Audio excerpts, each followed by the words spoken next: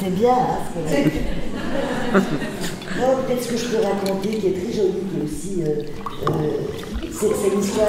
Plus près, mais Ça ouais. C'est l'histoire qui nous est arrivée, c'est-à-dire que on a la même petite fille.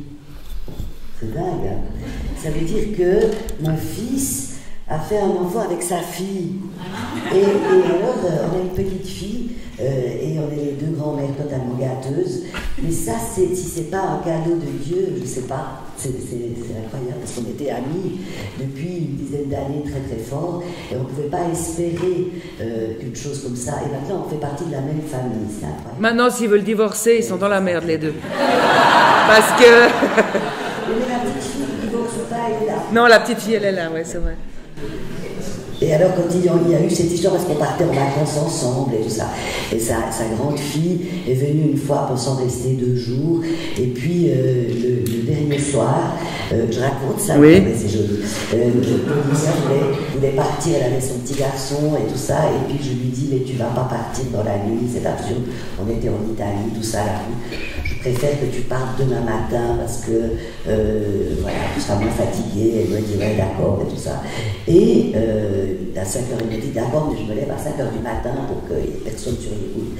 Et elle se lève et, sa fille partait avec elle, qui était, et on n'avait rien vu, et elle va toquer et voilà qu'elle était avec mon fils. Et, là on s'est dit. Non, ce qui est fou, c'est qu'on n'a rien vu venir. C'est surtout ça. Deux semaines de vacances et on n'a rien vu. On leur a juste demandé de ramener les vélos de location le soir.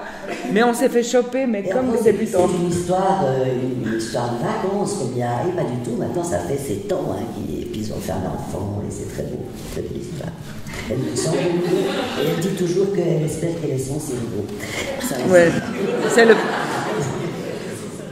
Non, non, elle est, elle est gauchère comme moi, mais sinon c'est le clown de Doris.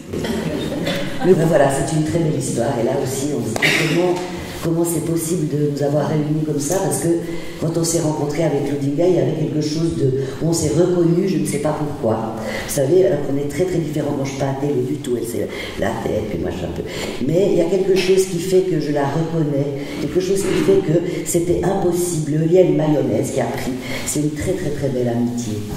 Et puis voilà, puis, dans, puis en fait on fait le même métier et c'est- et c'est c'est beau. Et surtout Doris, elle dit qu'elle n'a pas la foi du tout, mais elle est superstitieuse. Mais alors vraiment superstitieuse, pas de verre sur une scène, euh, pas passer sous une échelle, tout. Mais en fait, elle a la foi, en tout cas autant que moi. Oui, sauf que j'ai pas le- je vais, je vais pas euh, à l'église, là, c'est c'est autrement, mais en fait, oui, Tu vas les visiter avec ton mari, les églises, je vais les visiter. Pendant des heures et des heures et des heures. en vacances. Alors on va aller, on va aller jouer. Je sais pas.